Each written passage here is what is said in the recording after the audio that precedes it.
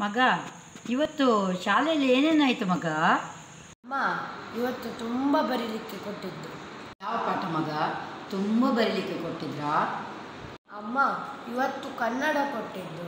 ನಮ್ಮ ತಪ್ಪಾದದ್ದು ಹತ್ತು ಸರಿ ಬರೆಸಿದರು. ಅದರಲ್ಲಿ ಯಾವುದಾದ್ರೂ ತಪ್ಪು ಇದ್ದರೂ ಇಪ್ಪತ್ತು ಸರಿ ಬರೆಸಿದರು.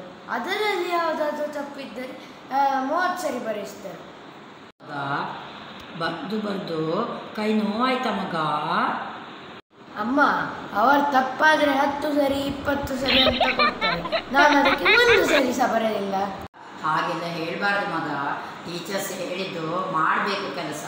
ದಿನನಿತ್ಯ ಕಾಪಿ ಬರಿಬೇಕು ಓದಬೇಕು. ಟೀಚರ್ಸ್ ಹೇಳಿದ ಕೆಲಸ ಎಲ್ಲ ಮಾಡಬೇಕು ಮಗ. ಕೈ ತಿರುಗ್ತದೆ ಚಂದ ತಿರುಗ್ತದೆ ಬರೆದ್ರೆ. ಇಲ್ಲದ್ರೆ ತುಂಬ ಕಷ್ಟ ಆಗ್ತದೆ.